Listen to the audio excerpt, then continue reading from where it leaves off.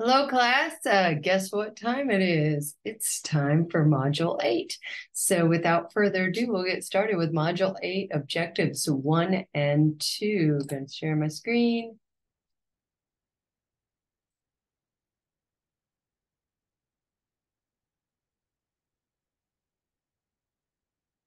Okay, Module 8 is about the family system. We're going to talk about family systems theory, and we're also going to talk about uh, approaches to therapy using family systems.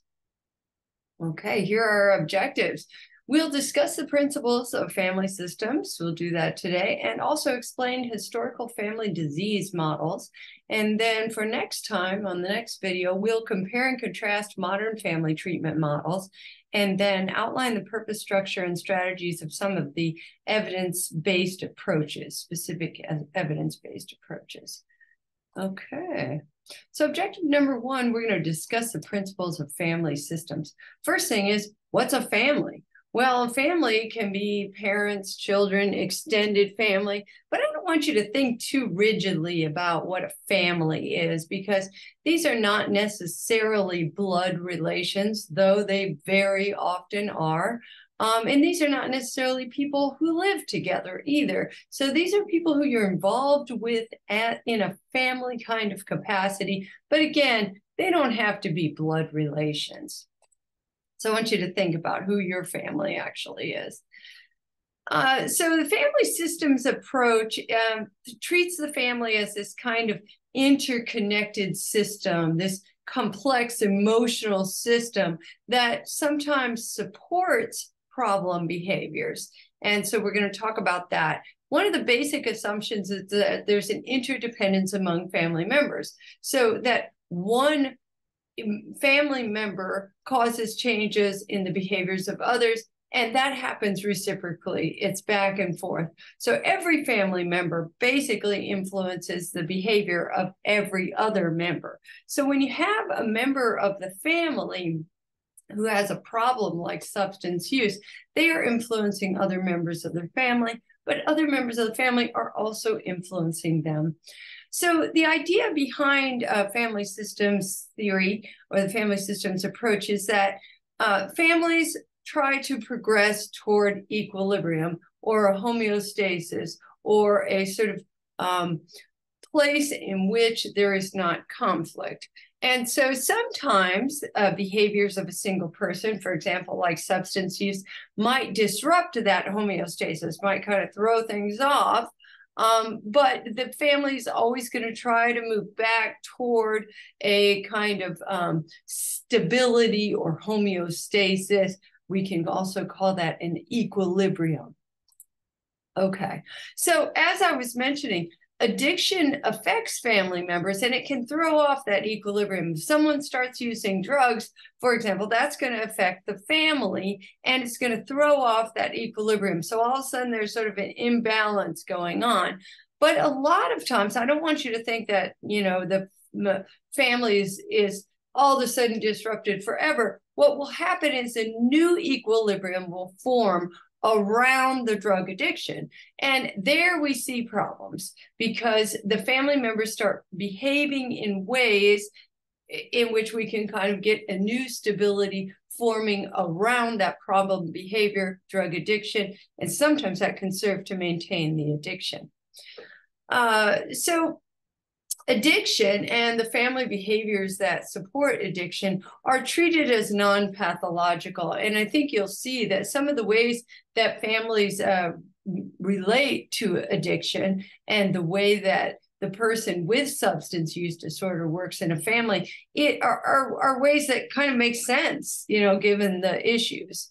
Um, but what happens is that then families kind of get locked into negative and repetitive behavior patterns that, that will support the addiction. So once the family finds that new equilibrium uh, that that um, includes the addiction, a lot of times it's a kind of locked in thing that it's hard to get out of because it once again we're always moving toward that equilibrium. So once we're there, we're good, we're stable, a okay. Um, unfortunately, it oftentimes will involve an addiction. Okay, so I want you to um, use this analogy to think about uh, family systems approach. So if you think about this this mobile in the picture, um, the movement of one person, if I were to pull on, for example, the uh, dark purple guy, that is going to affect all the other family members, right? It's going to affect that dark green guy the most, but it's going to start moving all the other family members. And so a change in any one person tends to affect the whole family.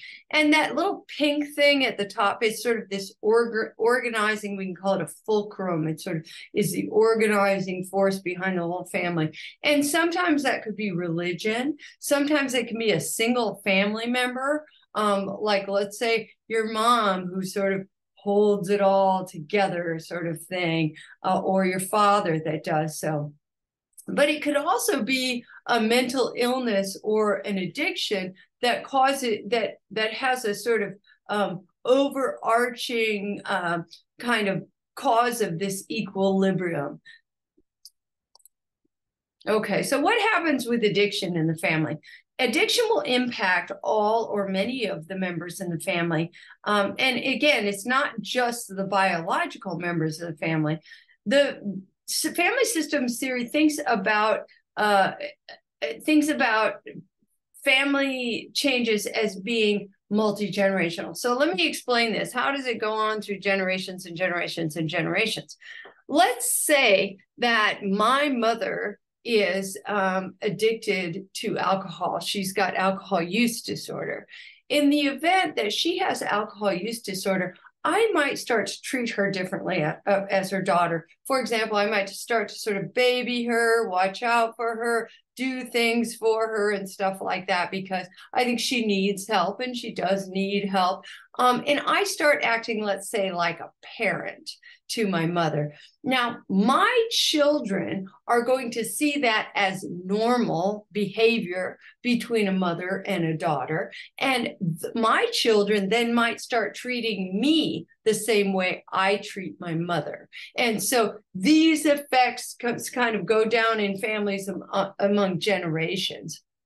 Now, I want you to remember that addiction does not necessarily tear apart a family.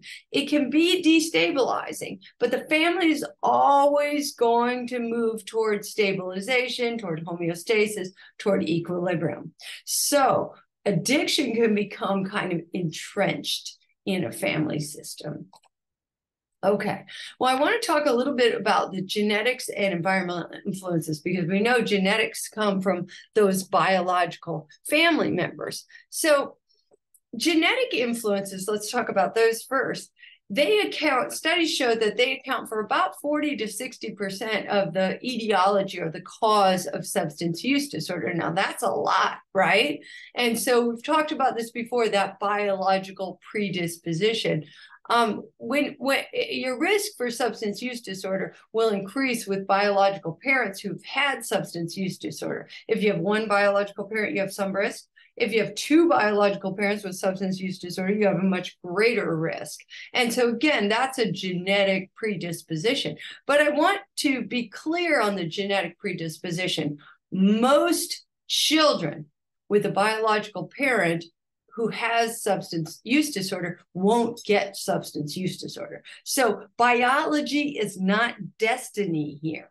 You have to have you have the predisposition, but then you've got to have these environmental influences as well. So the environmental influences come from inside the family and also from outside the family. So you'll have intrafam- intrafamilial influences, intra meaning inside, in in the family. And those will be things like parenting practices parental discipline uh, whether the parents are are monitoring the kids and things like that um, cohesion of the family parent drug use uh, things like that within that immediate family. And then there's this extra familial influences, for example, the friends of the parents and the schools and the juvenile justice system. So there are influences that go beyond the family as well that are seen as important in this family systems uh, idea. Okay, I want to talk about a couple of things that are important environmental influences. One is adverse childhood experiences. Those are called ACEs. And there were uh, there were some studies that were done that looked at a certain uh, list. I'm going to show you some on the next slide of uh, different kinds of traumas basically that kids experience prior to the age of 18 and what we see is that a, a greater number of these is associated with an increased risk for a substance use disorder in adulthood. The more of these that you have, and I encourage you to get online and do an ACE test and find out how many of these you have. So, four or more starts to get into some risk uh, factors for uh, substance use disorder. Now, again, doesn't mean you're going to get it. You got to have the genetic predisposition as well. Um, another issue is caregiver substance use and child maltreatment. So some caregivers uh, or parents who are uh, parents or other caregivers who are uh, using substances will maltreat will mistreat children. That doesn't mean that they all do. There are plenty of caregivers who use substances that do not mistreat children. Um, but what we do see is that caregiver use uh, is associated with child maltreatment, so child abuse and neglect, and is also associated with children going into foster care. So those are two really important environmental influences. Okay, as I was talking about, adverse childhood experiences are varied, but there are lots of kinds of things um, physical, uh, uh, emotional, and sexual abuse, neglect, physical and, and, emotional neglect. And then there's all kinds of household dysfunctions. For example, mental illness, let's say, of a parent, uh, mother treated violently, divorce happening in a family uh, with the parents. And again, these are things that happen to you prior to the age of 18, an incarcerated relative, uh, substance uh, use in the family. Okay. Uh, the next objective is to explain the historical family disease models. Now, these family disease models are a little bit outdated, but uh, we're covering them for a historical reason because many people um, still basically believe in them or use them. Um, but again, they're outdated, and, and I'll talk to you about why that is. It's because they're not supported by research.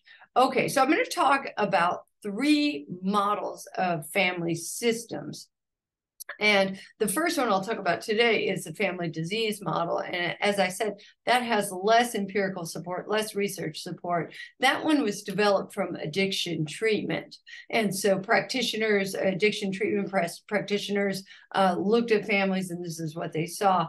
Um, the family systems models and the behavioral models I'll talk about next time, those both have quite a bit more uh, support. And the two of them together are going to be combined to make up a lot of the treatments that we talk about in the end. They generally draw from two and three, most of the treatments that are out there now. So, again, we're going to talk just about these historical models now, the family disease models. So, the dis- family disease model you probably heard about in some way, shape, or form. Most of us have. It developed out of substance uh, treatment settings. It started in the 1950s. Um, by the 1980s, it was really well entrenched. And the idea was that addiction is a disease of the family that caused the family to behave in certain ways. And at that time, uh, uh, Al-Anon started, and that was the basically the branch of Alcoholics Anonymous that would treat families and relatives. Um, the studies that were done on this were generally focused on white middle class families with a father that had alcohol use disorder, so they were somewhat limited. And that you know now we find that the support is uh, pretty pretty minimal. Okay, so in practice, what this meant, and this is where you've heard of it, is that there was codependency in the family. And the codependency was basically one person was addicted to a substance, and then other people became codependent. And there's one person particularly who is seen as the chief codependent or the chief enabler. And that person, it basically uh, allows the addiction to happen by supporting it. in one way or another. So maybe um, I know I'm just going to use this traditional example because that's what a lot of this is based on. So dad is has alcohol problems, drinks a lot. And mom is very careful to take care of dad, to, to keep the kids away from him when he's drinking and he's upset, to clean up after him, to make sure she calls into work for him, et cetera, et cetera, et cetera. And that those kinds of behaviors were seen as enabling um, and then this mother who's doing all this, or wife who's doing all this, is now also neglecting all her own needs because she's always in this caretaking role for her husband with alcohol use disorder. There were also all of these other uh, children that were labeled under this family disease model. So you had the lost child, um, the problem child, the mascot, and then the family hero and you can kind of look at some of the, the i'm not going to dwell too much on these because you know once again it doesn't have a lot of empirical support but i i wanted to tell you that the ha- family hero is like usually the oldest child because there's also some age related or uh, child uh, position related stuff in this idea. And the family hero was the oldest child, and they were the high achiever, following the rules, seeking approval, very responsible, um, kind of taking on almost a, a parental role.